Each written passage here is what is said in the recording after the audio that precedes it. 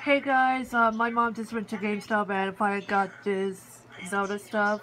It just came in, so uh, yeah, if I have a have a Warrior Legends, but before I do that, um, GameStop people just gave me the other Twilight Princess soundtrack, the sound selection. This is actually the same one, so yeah. It's actually the same soundtrack as last time I was in California, so yeah.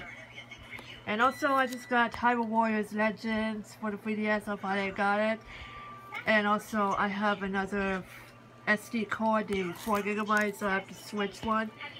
So uh, maybe I can pop this into my 3DS XL. So uh, yeah, I have the uh, Zelda one. So maybe I could pop this into my 3DS with the SD card. So yeah, can't wait to play this. And also, I didn't play the Wii U version, so yeah.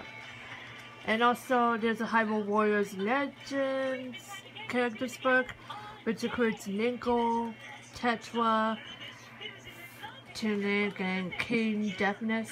So uh, yeah, it's awesome. Very to read about all the characters from Hyrule Warriors Legends. And also, finally, I just got the uh, Hyrule Warriors Legends Collector's Edition.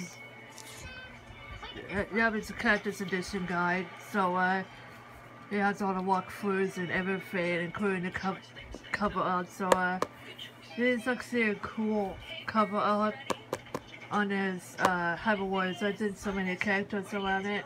This Tingle right here. Ganondorf, Tetra from Wind Waker, and it's Midna from Twilight Princess. So, yeah. Anyway, so here's the stuff I got from GameStop. So, thanks for watching. Peace. bye bye.